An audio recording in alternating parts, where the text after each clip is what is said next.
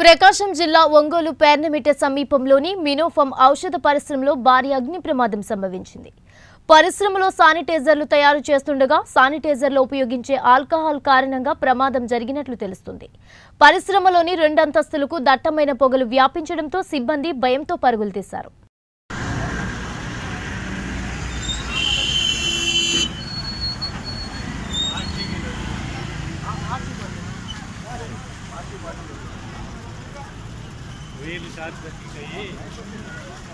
ఓ పక్కరా పెద్దయినా పెద్దయినా పక్కరా మీనో పారాలి పక్కరా